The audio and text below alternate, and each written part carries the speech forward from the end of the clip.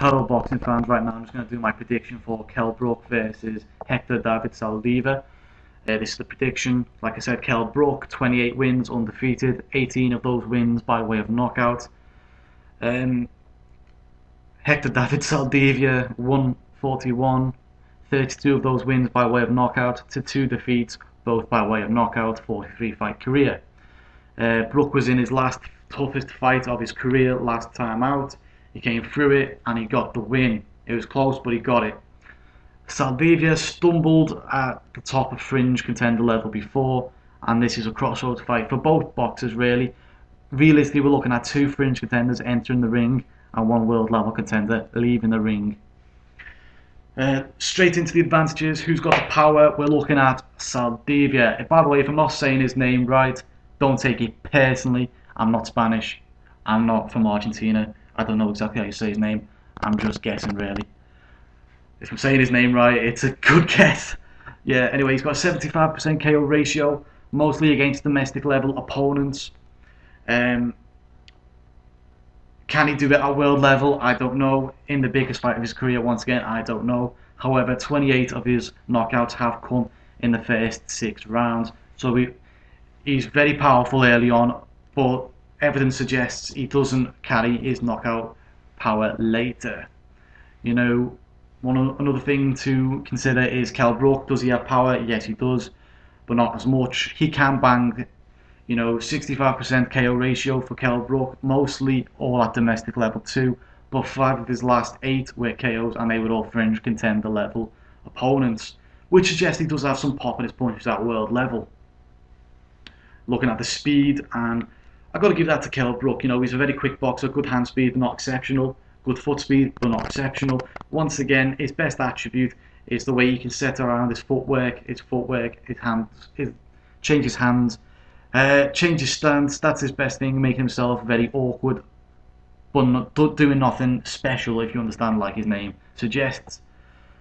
Looking at the movement, and I give that once again to Kell Brook. He's got very good movement. You know, his foot speed's good but not exceptional, like I said before. He's got the ability to switch his boxing stances through his foot movement when he needs to, which is a very good thing that he can do.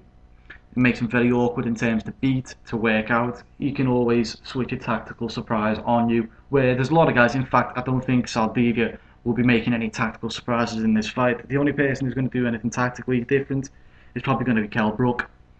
Um, like I said, he's I think he's better defensively than he is offensively in terms of his movement. Um, he doesn't have that killer instinct that Prince Naseem had, obviously, uh, but one thing he does very well defensively that not people, not many people pick up on is he's always moving in the opposite direction to the shots coming in, so that he never gets hit totally clean, right? And this worked very well against Carson Jones until the final round, where he took clean punches to the head in the 12th round. Mostly he was getting hit to the body by Jones, that was bringing his arms down. The only issue was he was still never getting hit clean against Jones if you look at the fight until the 12th round.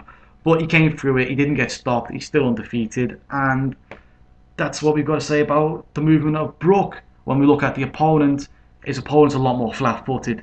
You know, he can cut the ring down uh, fairly well, but his movement's not brilliant, you know.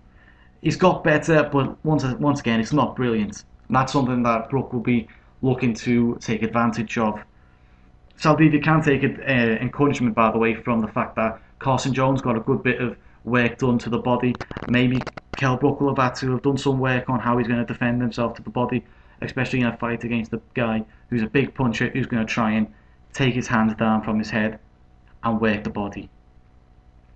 Looking at the boxing ability, and I give this one to Kell Brook, you know, he's a much better boxer than his opponent, and his greatest attribute is that he can make himself the most awkward boxer at 147 pounds.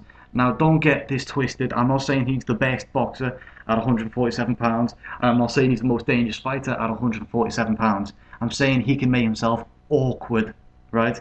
You see, his ability to switch from orthodox to southpaw at his own will is what makes him very awkward and therefore dangerous. Do you understand where I'm, where I'm coming from? You see, if you're trying to work out an orthodox boxer, that's what you can do. You can that's what that's your aim. Now he can switch his his whole stance to southpaw, so now you've got to work against something else that maybe you don't like doing. Maybe if you're trying to take away the southpaw stance from Kell Brook, he's happy to go orthodox and therefore pop you with a different jab, different type of jab, different type of shot. You see, he's very awkward in the way he can do this, and this is one of the ways that he racks up points in close matches by landing a few cleaner shots through his awkward stance.